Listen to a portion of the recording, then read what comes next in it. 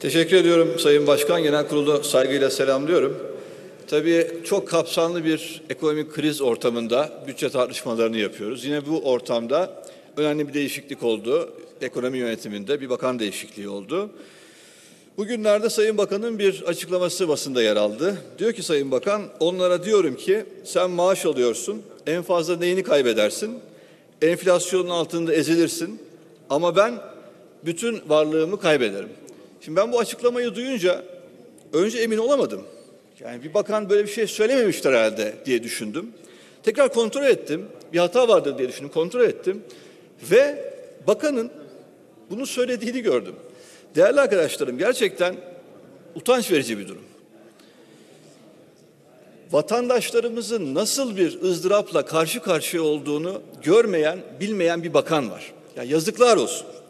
Değerli arkadaşlar bakın bir bakanla bir bakan, bir bakan, varlıklı bir bakanın varlığını kaybetmesiyle bir annenin, bir babanın işini, maaşını kaybetmesi nasıl aynı şey olarak düşünülebilir? Ya bir anne, bir baba maaşını kaybederse evinin kirasını ödeyemez. Bir anne, bir baba maaşını kaybederse hasta anasına ilaç alamaz. Ateşi yükselen bebeğini doktora götüremez. Çocuğuna defter kalem alamaz. Ama ama ama orta yere çıkıp bir bakan kendi varlığıyla, kendi servetiyle bir annenin, bir babanın maaşını, bir emeklinin maaşını nasıl kıyaslayabilir? Değerli arkadaşlarım, yani sormak istiyorum o anne baba o maaşıyla ne yapıyor bir düşünün. Ya İspanya'ya tatile mi gidiyor Allah aşkına? Hayat mücadelesi veriyor. Yani bir bakan bunu kendi servetiyle nasıl kıyaslayabilir? Yani sormak istiyorum ya bu Türkiye'de devlet kimlere kaldı ya? Ya devletin kasasını emanet ettiğimiz insan bunu nasıl söyleyebilir ya?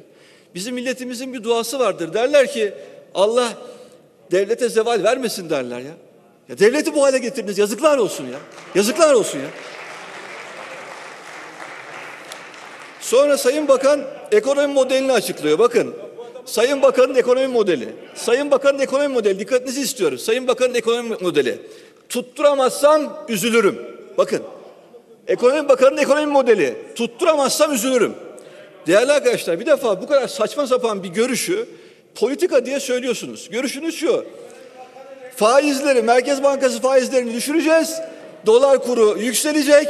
Dolar kuru yükselince ekonomi toparlanacak. 14-15 liraya yükselince ekonomi toparlanacak.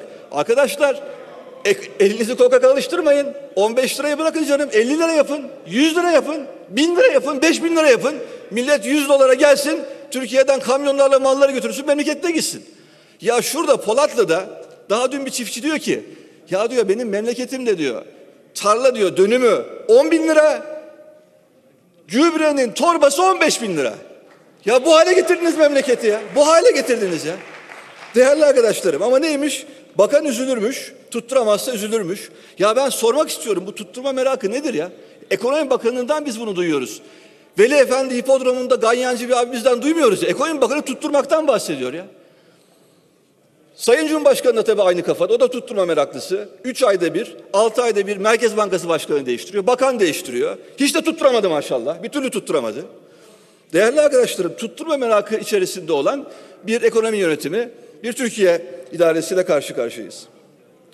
Şimdi mesela neyi tutturduğunuzla ilgili bir örnek vereyim ben size tutturamadığınız konusuyla ilgili. Sizin döneminizde son beş yılda beş defa Merkez Bankası Başkanı değişti. Ya Merkez Bankası kurulmuş 30 senede 5 başkan değişmiş. Son 5 senede 5 başkan değiştirdiniz. Gelmeden baktım Almanya'nın Merkez Bankası 63 yıllık bir banka 10 başkan değiştirmiş 63 yılda.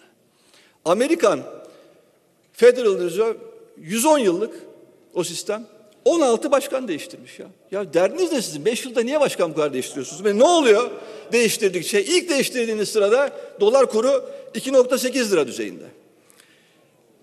İkinci değişikliğinizde 5-6'ya fırlamış. Arkasından Naci Ağbal geldiğinde dolar kuru 8,5 lira. Adam 4 ay kalabilmiş 7.2 liraya düşürmüş. Tabii hedef olmuş sizin için. Hemen adamı kapının önüne koymuşsunuz. Arkasından Şahap Kavcıoğlu bütün rekorları kırılmış. 9 ayda 7 lira olan dolar 14 lira olmuş. 9 ayda 7 lira lira olan dolar 14 lira olmuş. Memleketi uçuracağız dediğiniz sistemin sonucu bu. Ama Sayın Bakan hala bize tutturmaktan bahsediyor. Ya zaten tutturmuşsun tutturacağını. Memleketi bu hale getirmiş. Neyi tutturacaksın?